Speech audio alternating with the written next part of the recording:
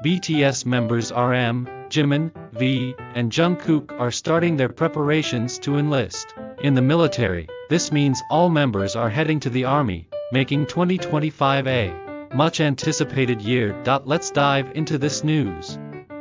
On the 22nd, their agency Big Hit Music announced via the official fan community platform Weverse, RM, Jimin, V, and Jungkook have started the procedures to fulfill their military duties.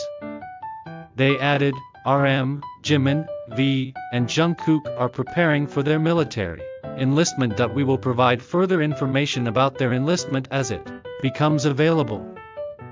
Furthermore, Big Hit Music requested, we ask for your warm support and unchanging love until RM, Jimin, V, and Jungkook complete their military service and return in good health, the company will continue to provide unwavering support and affection for the artists.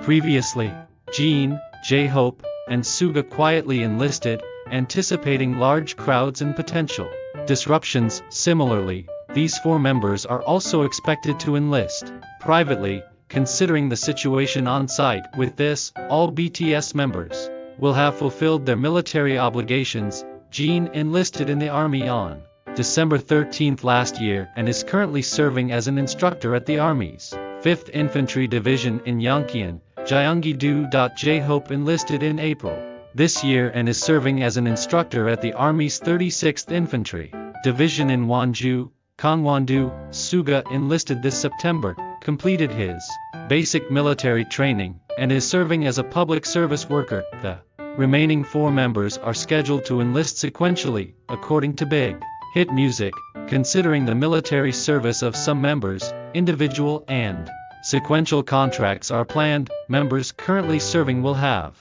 completed their military duties by 2025, the start of the new exclusive contract period. Therefore, BTS's full group activities are expected to resume in 2025. Jungkook, who has recently been active as a solo artist, spoke about the group's activities in 2025.